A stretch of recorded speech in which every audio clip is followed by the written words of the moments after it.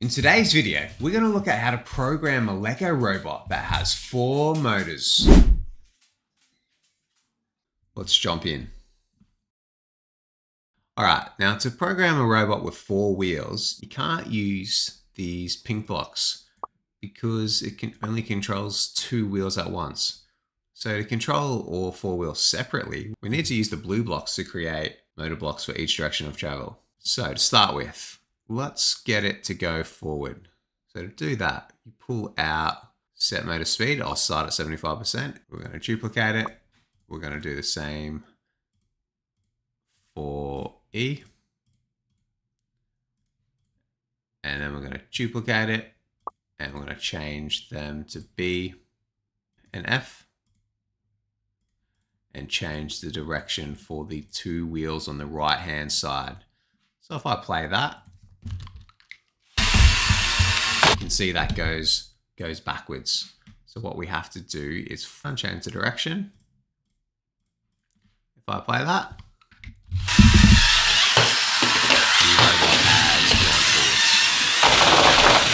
And what we do is we turn that into a my block. So go up here and click my block.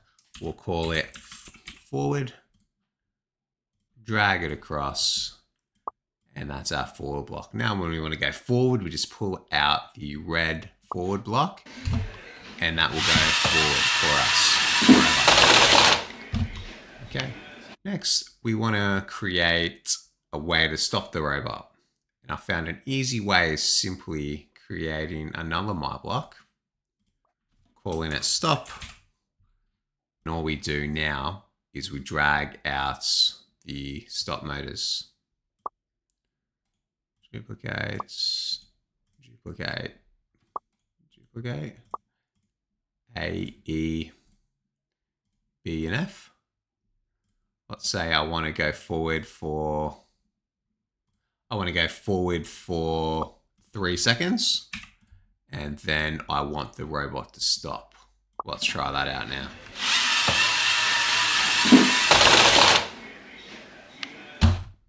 And it worked. Now we've got forwards, backwards is easy. So what we do is we go into a my block, we go backwards,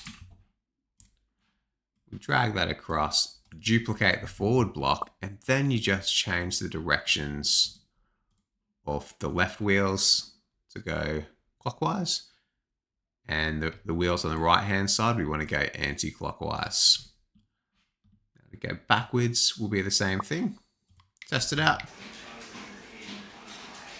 Excellent. Now, the question is, how do we get it to go a certain distance, then stop? So let's say we want to go until we see black.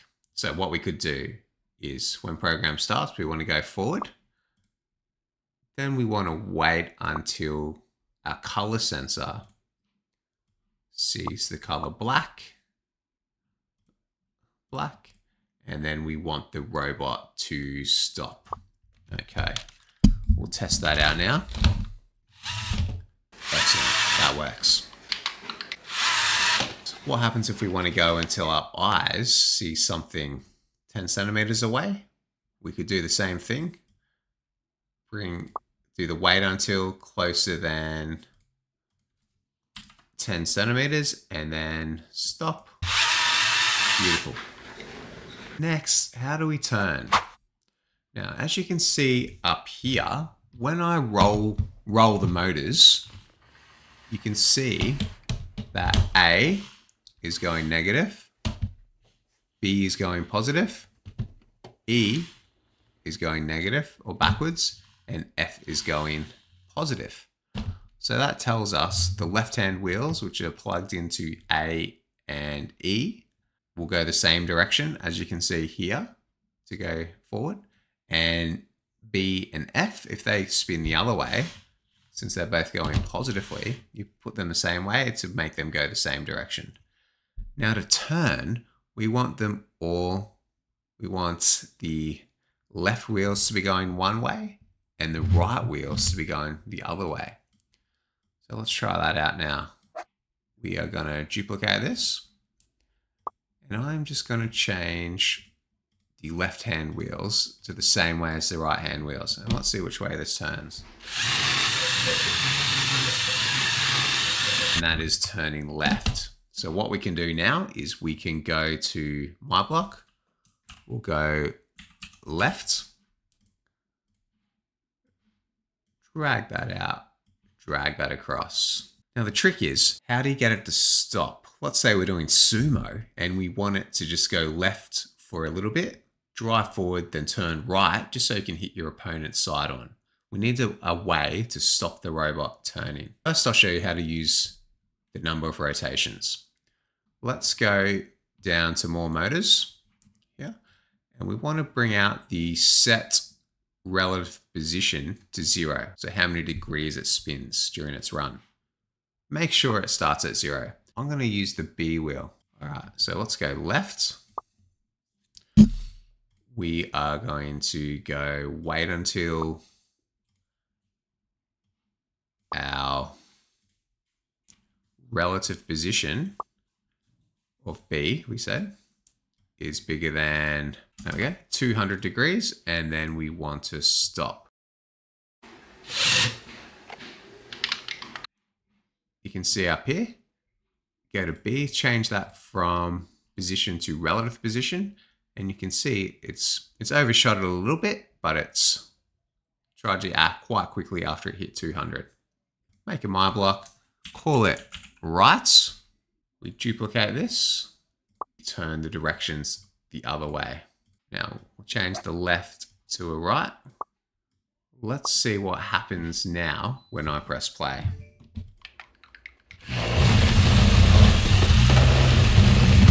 See the robot is not stopping. And as you can see, the number is getting smaller and smaller. All right, one solution for that is we can go into operators and we can pull out the absolute value of. So what that does is it ignores the negative sign of the B. So if it goes positive or negative, when it gets to 200, it will still stop. Perfect. All right, let's try another way. What's more accurate? Let's say I want to do a perfect 90 degree turn. Let's take advantage of the gyro sensor that's built into the spike. So instead of stopping at 200 degrees, I'm going to change it to stopping when the yaw angle, we'll change that to yaw. Yaw is the amount it turns. So you can see I'm turning it to the right. It's getting bigger. Turning it to the left, it is getting smaller. Again, we have a problem with the negative yaw. So the left is negative, the right is positive. So to stop that negative problem, let's put it in the absolute angle. So it doesn't matter if it's negative or positive, if as long as it's bigger than whatever degrees we say. Okay, 90 degrees and stop. There's just one thing we need to add before we start that to the left and right turn. We want to make sure we reset the yaw to zero each time this runs. So to do that, you go into the sensors and add the set yaw to zero in the right and in the left. Sometimes you need a delay because the robot doesn't stop in time, but let's just try it without the delay to start with. Okay, 90 degrees. 95 degrees. I'm to press the robot and try it again. 94, one more time.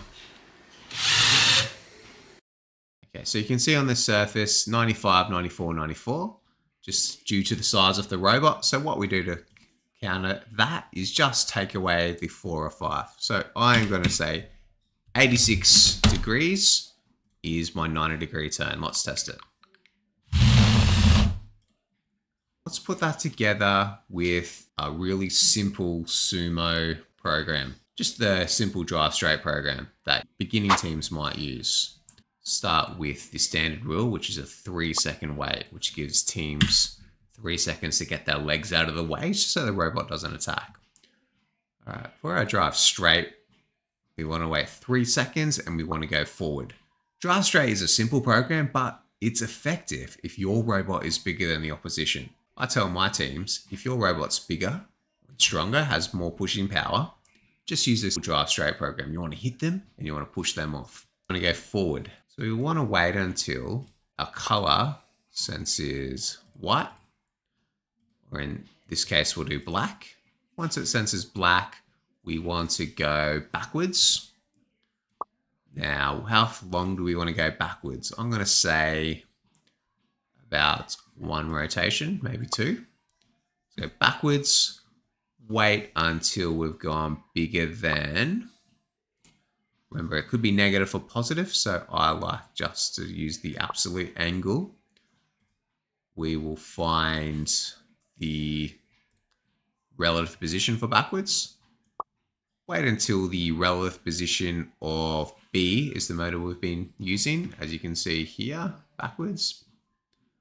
Oh, we don't have it. Let's put that in.